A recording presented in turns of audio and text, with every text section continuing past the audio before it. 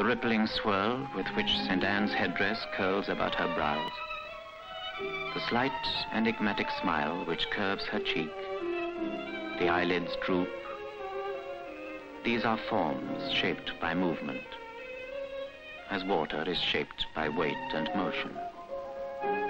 And in most violent contrast to this elusive movement, a frowning, fiery image with mouth contracted in the ultimate rejection of a smile.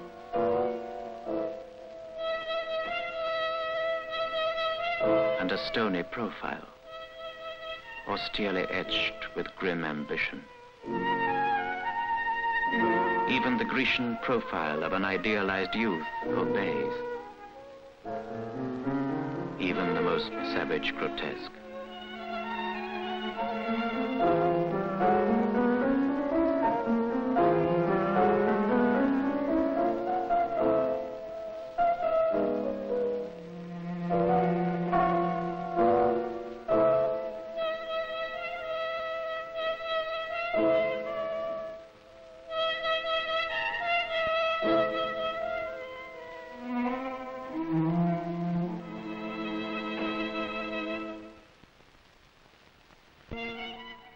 And always beneath the flesh, the rigid structure of the skull.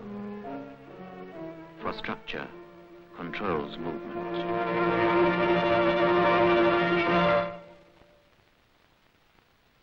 To the Lord Lodovico Sforza, Duke of Milan. Most illustrious Lord, Having now considered the specimens of all who proclaim themselves skilled contrivers in the arts of war, I shall endeavor, without prejudice to anyone else, to explain myself to your excellency, to acquaint your lordship with my secrets, offering myself at your pleasure effectually to demonstrate all those matters here briefly recorded. Item.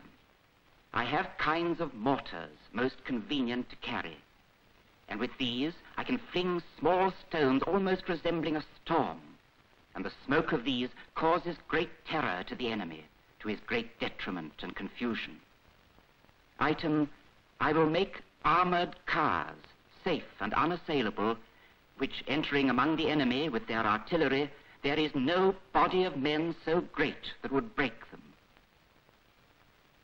Item, in case of need, I will make big guns, mortars, and light ordnance of fine and useful forms out of the common type. Where it is not possible to employ cannon, I can supply catapults, mangonels, trebuchets, and other engines of wonderful efficacy not in general use. In short, as the variety of circumstances shall necessitate, I can supply an infinite number of different engines of attack and defense.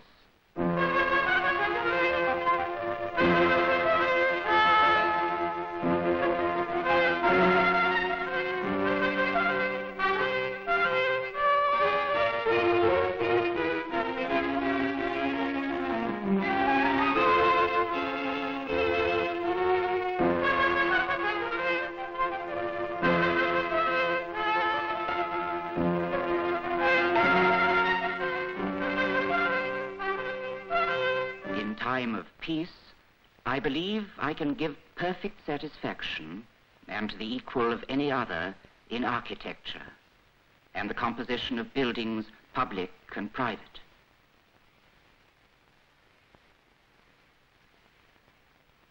And I can carry out in sculpture and also I can do in painting whatever may be done as well as any other, be he who he may.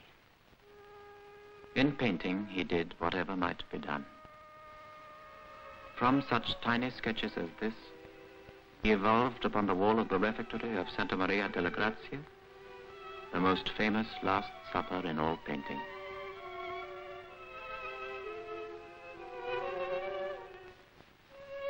Noting the elements of the great composition in haste and carelessly among notes on architecture, and above a careful theorem concerned with the division of a circle.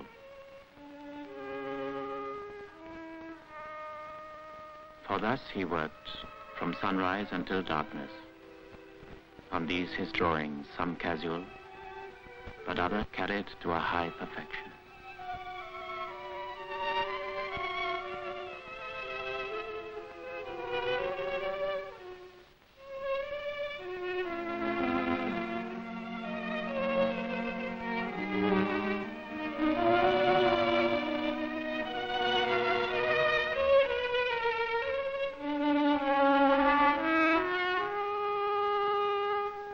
Sometimes, suddenly, he would throw down his brush and leave painting.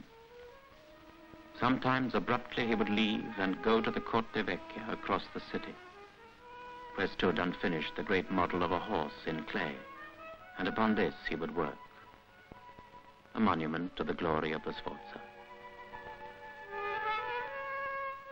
Did he, on those restless days, as he walked in the hot sun, did he pause to make such rapid notes as these in his sketchbook?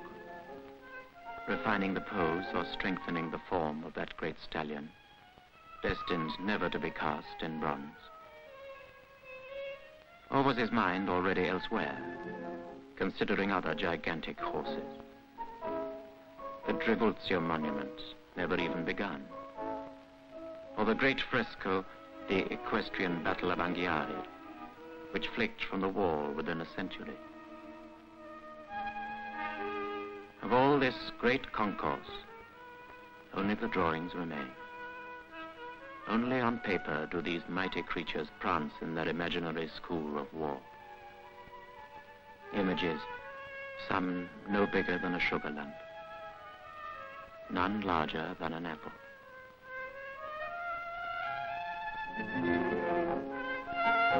Of all his great projects, we possess only sketches and shadows. But the Leonardo whom we possess is the man who sought in the natural world the ideal of grace set in the truths of science.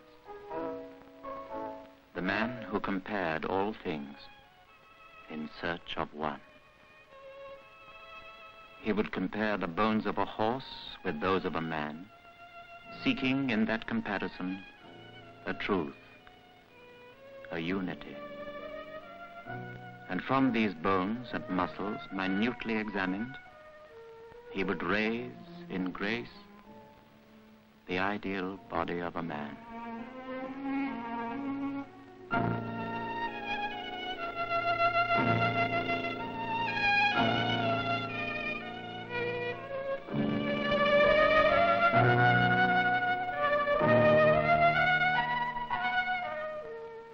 To the source, the complex geography of the body.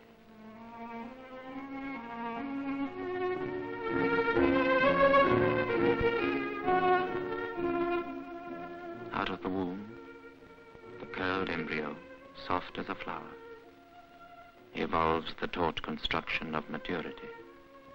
This map of sinews interleaved is but an island in an ocean. And those that follow are the charts of an explorer who, in search of truth, mapped for the first time the rivers, the seas, and the mountains of the world that is man.